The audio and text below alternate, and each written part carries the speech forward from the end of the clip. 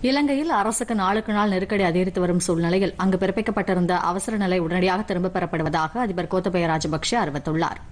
கடும் பொருளாதார நெருக்கடி ஏற்பட்டுள்ளதால் இலங்கையில் போராட்டத்தை சமாளிக்க கடந்த ஒன்றாம் தேதி முதல் அவசர நிலை பிரகடனம் செய்யப்பட்டிருந்தது. அவசர நிலை ரத்து குறித்து அதிபர் கோத்தபய ராஜபக்சே நள்ளிரவில் வெளியிட்ட அறிவிப்பு உடனடியாக அரசுதலில் வெளியிடப்பட்டுள்ளது.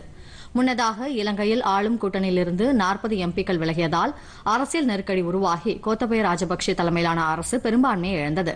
இதற்கிடையே நாடு முழுவதும் உணவு மற்றும் மருந்து பொருட்களுக்கு தட்டுப்பாடு ஏற்பட்டுள்ளது. இந்த சூழலில் அடுத்து எடுக்க வேண்டிய நடவடிக்கைகள் குறித்து இலங்கை நாடாளுமன்றத்தில் இன்றும் நாளையும் விவாதம் நடத்துவது என முடிவு செய்யப்பட்டுள்ளது.